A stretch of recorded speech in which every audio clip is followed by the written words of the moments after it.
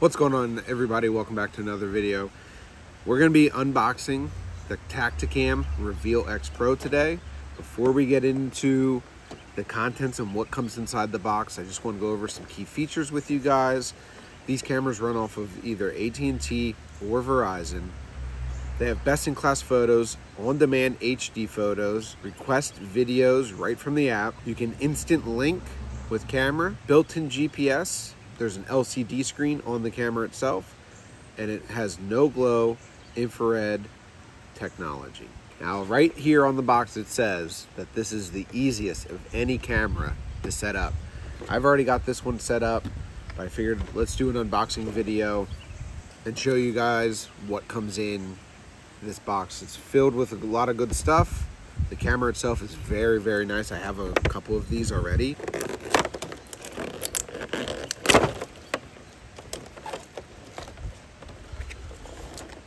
Right.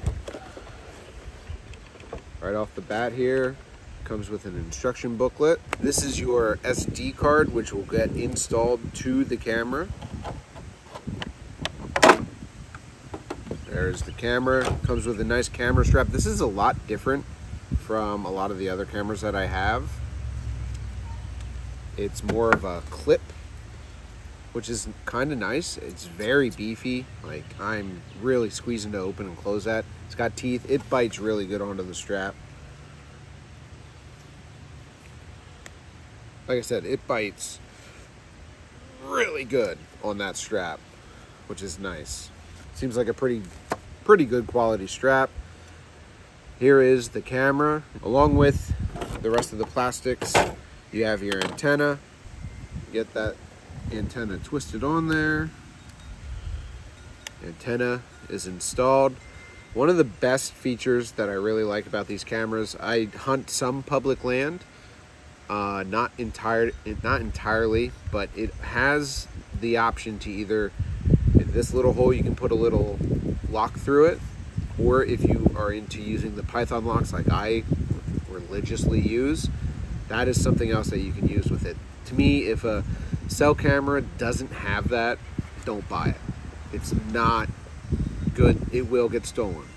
Uh, I'm going to make another video on how I set these up in the trees based on public or private land. So stay tuned for that. So let's open this up. And inside here, you have your LCD screen, your SIM card gets inserted here, your SD card gets inserted there. You press this eject button, that'll drop down your battery tray. And I believe two, four, six.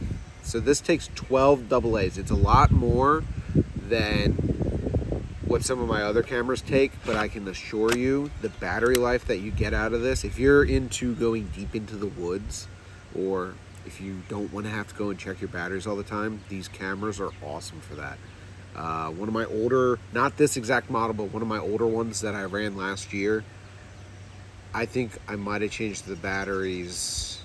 No, I didn't change batteries at all through the whole hunting season. It was out from middle of September until the end of January, and the batteries were still functioning. No, um, they weren't full. Don't get me wrong, the batteries aren't going to be full, but they were still functioning that is one of the best features of these is their battery life and uh, I'm going to be putting all these cameras up against each other at some point this summer and uh, basically torture testing them and seeing which ones perform the best. But yeah, so that is everything that comes with your Tactacam Reveal X Pro. This instruction booklet is incredibly detailed. Um, you couldn't ask for anything better. And like I said, I've already set this one up. I believe plans for these start around $5 a, a month.